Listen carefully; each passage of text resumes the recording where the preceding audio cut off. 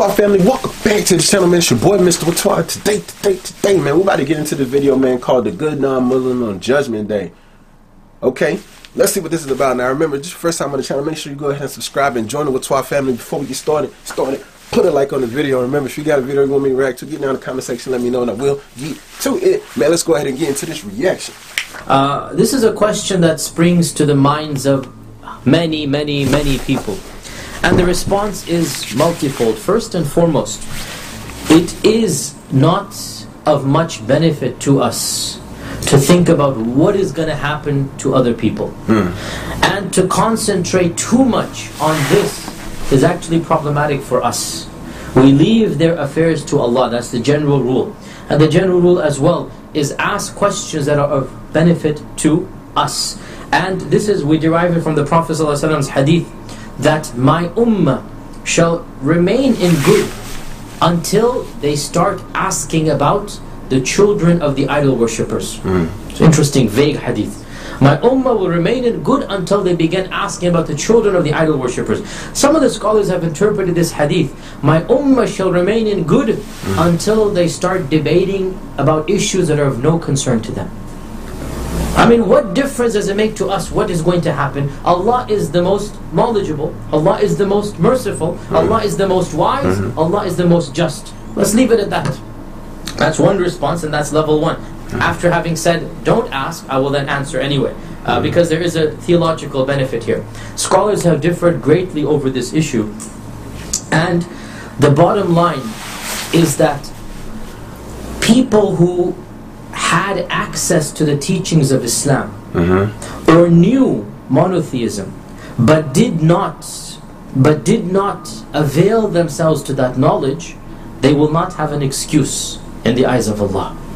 And this particular person uh-huh. Abdullah ibn Jud'an there's a hadith in Bukhari that Aisha asked. Aisha is the distant niece, uh, the grand, uh, the great, what is it called, great niece or grand niece, whatever, of Abdullah bin Jud'an. And Aisha says, O Messenger of Allah, Ibn Jud'an was a great man who was kind to the neighbors and good to the people. What will be his fate? What will happen to him? So the Prophet ﷺ said, he is going to the fire. So Aisha says, why? So he says, and listen to this, he never said once, Rabbi Rabbi. Now, this is a very interesting point here. Mm. In our times, people consider piety and righteousness to be only being good to others. Mm. If you're good to other people, khalas, that's all we need from you. You will go to heaven. Mm. If you open up an orphanage in Calcutta, khalas, you'll become world famous. Doesn't care what you believe, doesn't care you think God has a son, this becomes irrelevant, hmm. right? If you open up uh, a hospital, if you're smiling to everybody, well, he was a good and loving man. Hmm. In this hadith, we learn no. That's all fine and dandy, yes, but there's an element that you need to do as well, and that is even more important than being good to others, hmm. and that is believing in the one who created you and worshipping the one who created you. Yeah. In the end of the day, being good to people is good, but worshipping Allah is better and more important.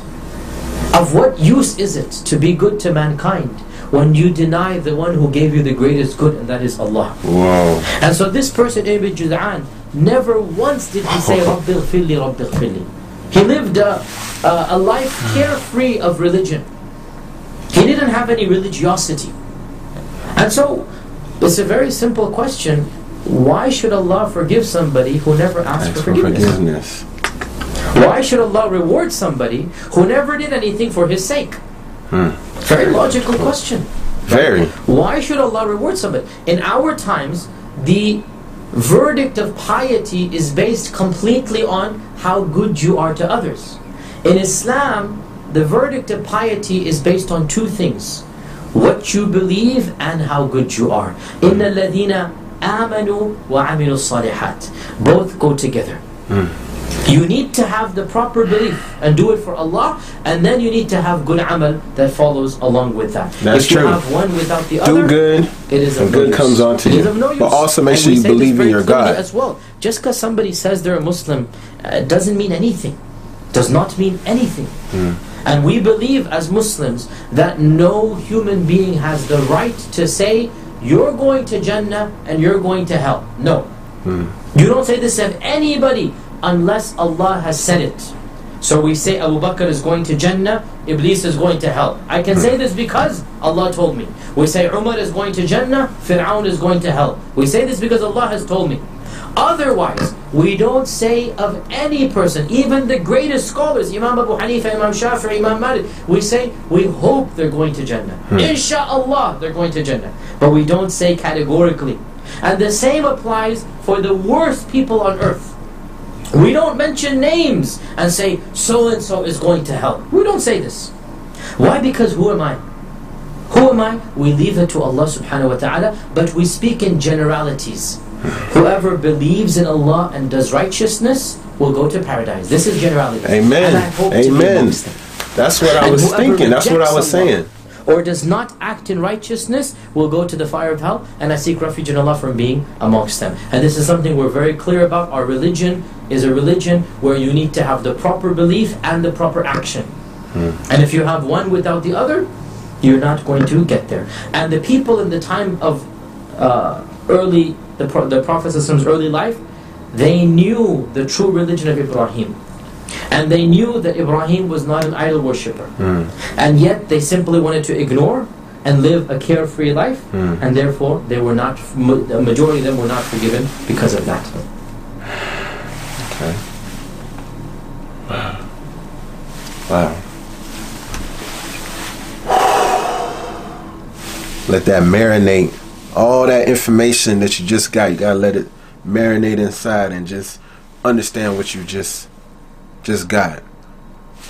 What it's saying for people that are non for all the non-Muslims, it's not saying that you won't go to heaven or Jannah because you're not Muslim. What this video is saying is that Muslims cannot go around saying, "Oh, because you're not Muslim, you're not going to Jannah."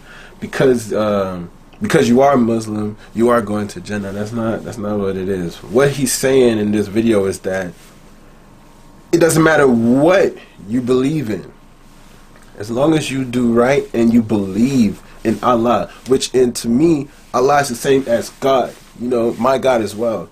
As long as you believe in God and you do right, doing right unto people, then you will go to heaven.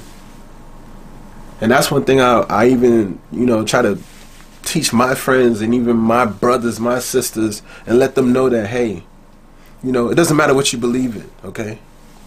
As long as you have a belief and you do right to our people, then you will go to heaven or you or whatever you believe in to to your to your peace you will become to your maximum and your up high peace okay but if you're doing wrong even if you believe in the best religion and you're doing wrong you you won't go you won't go to heaven okay and I believe in this. I, I agree with this video hundred thousand percent. Like this video is good. Thank you to my Whaatwaa family for recommending this video. I really love y'all for that. It's your boy Mr. Whaatwaa. Get down in the comment section. Let me know another video you want me to react to. And also let me know what you think about this video. And remember, if this is your first time on the channel and you have not subscribed, make sure you go ahead and subscribe. And before we leave the channel, put a like on this video. And remember, I will see you guys tomorrow. Why? Because I post videos every day. So please take care. Stay safe. Whaatwaa!